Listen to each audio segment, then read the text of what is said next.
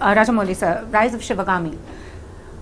In history, we never see the war or the kingdoms being made and broken. They always say a woman can destroy a kingdom. We've seen it in history. But in Indian mythology, we never see the woman's perspective. Was that intentional? And will this also lend itself to another movie being made by you?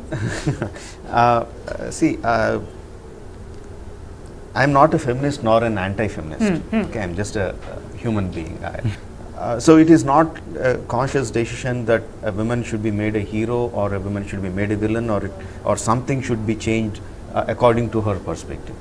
So there is no women perspective of it. Okay. See why we uh, uh, named it the rise of Sivagami is not just it is not just the story of Sivagami. It is the story of Kattappa. It is the story of Bijaladeva. It is a it's a story of numerous other characters Yeah. who uh, who help uh, Sivagami to mold the character. All of them help mold the character of the strong queen mother that we have seen in the Yeah. in, in the film. In the beginning of the film, she is Rajmata, who who is who is willing to kill or die for the kingdom. The best thing is, in the beginning of the book, she's a 17 year old orphan whose sole aim of life is to destroy the kingdom of Mahishmati.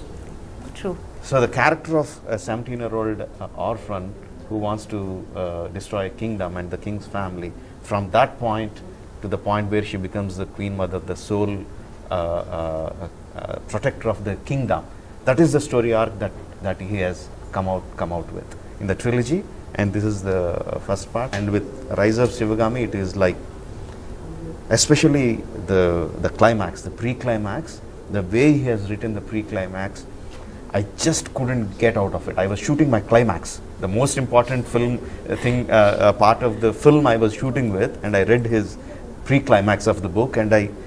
It just didn't leave me. It just didn't let me sleep. So we- the way he was written was So is that your next? absolutely fantastic. Is that your next? Pardon? Is yes, that uh, uh, that that was one of the idea, not not a movie, because we cannot encompass what he has written in in a two-hour film or a three-hour film.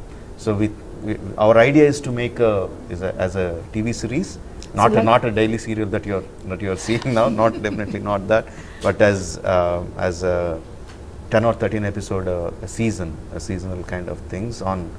I don't want to bring the name of Game of Thrones because uh, it is it is not like that. Huh. It is our Indian story in our Indian emotions, the way we want to see it, but we want to make it on that scale.